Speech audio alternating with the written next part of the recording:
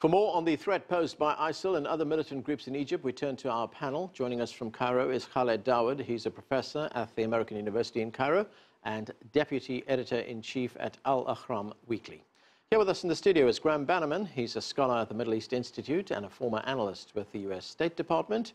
Abdel Bari Atwan is the editor-in-chief of Rai Al Youm, an Arabic independent newspaper. He joins us from London. Thanks to all of you for joining us. Khaled, let me start with you. We look at this attack last week in Egypt. More than 300 people killed, and as we said, the worst terrorist attack in Egypt's modern history. How much of a challenge is this, not just for President al-Sisi, but also for the Egyptian people? Is it time for the Egyptian people to come together right now and take on this threat? Well, um, indeed, we've been facing this uh, threat for over four years right now, since the removal of uh, former uh, President and Muslim Brotherhood leader uh, Mohammed Morsi. Uh, there has been a rise in the uh, uh, terrorist attacks in Egypt and particularly in Sinai. the major problem and what actually made many Egyptians worried uh, is that despite uh, the army activity in Sinai over the past four years, those militants are still able uh, to gather themselves in big numbers. And at this time, uh, they are attacking a very local target represented in a mosque where uh, hundreds of worshippers were basically performing their Friday prayer. Um, it has never happened before in Egypt's history uh, that a mosque was attacked or that such a huge number of people all die in one uh, incident, uh, such as the way uh, it happened in the village of Roda Uh, in northern Sinai. So, of course, uh, uh, this poses a major challenge for President Sisi and for the regime. Uh, and immediately after uh, this uh, attack took place, we saw the president yesterday asking the army chief of staff that he has to get done or to rid Egypt of terrorism and Sinai in particular in a matter of three months. And many people are wondering whether this target that was set by the president is a realistic target, considering that the fact that the army has not been able to get done with the job in four years, so why should it be done in three months? Graeme, we heard some of the reasons why uh, we have this rising extremism in Egypt. But how did Egypt become this hotbed for this kind of violent extremism?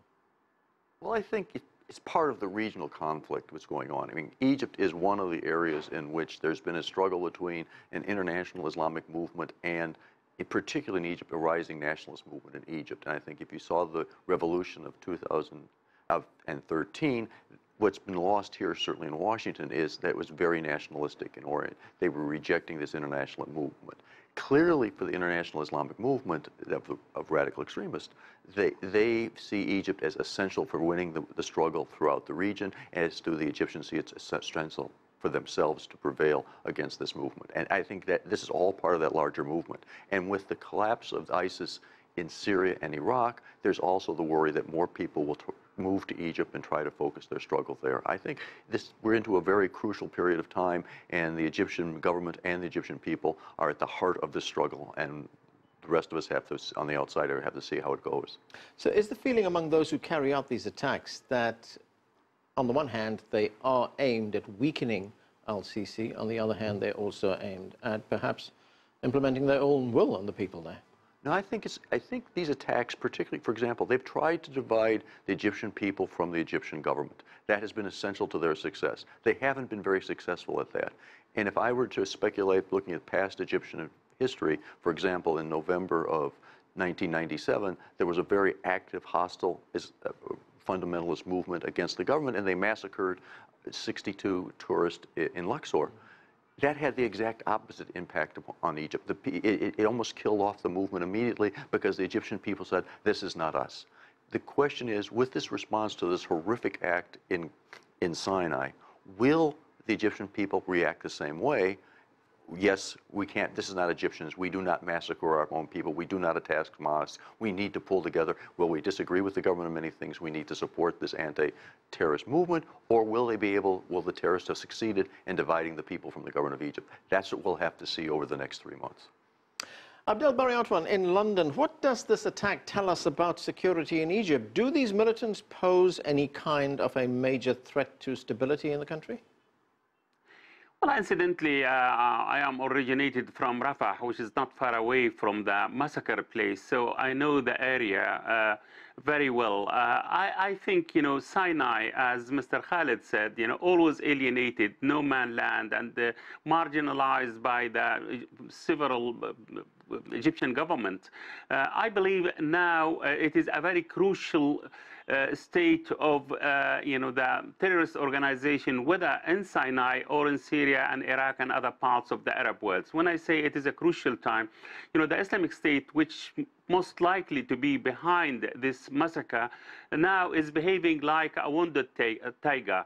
They lost their caliphate, they lost their territories, they lost most of their supporters or their actually uh, followers and uh, uh, recruiters. So I think now they are moving to plan B, which is the underground, that terrorism uh, revenge from all those people who did fight it. So I'm not surprised if many people uh, or many fighters of the Islamic State moved to Sinai long time ago before the defeat in Egypt, before the defeat in Syria and Iraq and took place there. And now they are trying to take revenge. And I'm not also surprised if they move to other places like Yemen, like Libya, like uh, Afghanistan, and so on. So I believe now uh, what happened in Sinai is a huge challenge to the Egyptian government.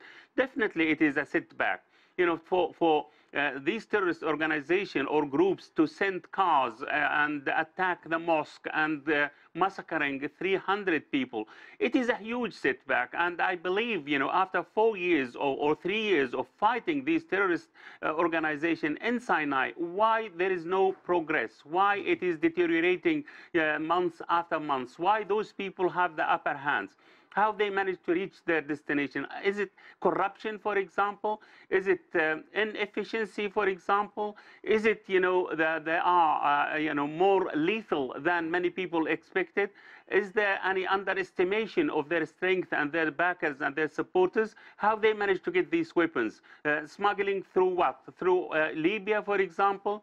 Uh, through the, uh, Israel, we don't know. So I believe this, this huge challenge facing the Egyptian government uh, you know, have to be actually uh, confronted. And they should be also not only security measures, not only using the army, they should be also good intelligence service, good intelligence cooperation, and also some ideological uh, you know, um, counterattack from the government, from the people there. We know Sinai is a, tri a, tribal society, the tribes playing very major role there, and this definitely attack would like to actually split the tribal society and to attack the tribes which actually supporting the government, supporting the Egyptian government and Al-Sisi government. I agree with uh, my colleague Khaled here uh, to set a target of three months to root out these mm -hmm. organizations, terrorist organization.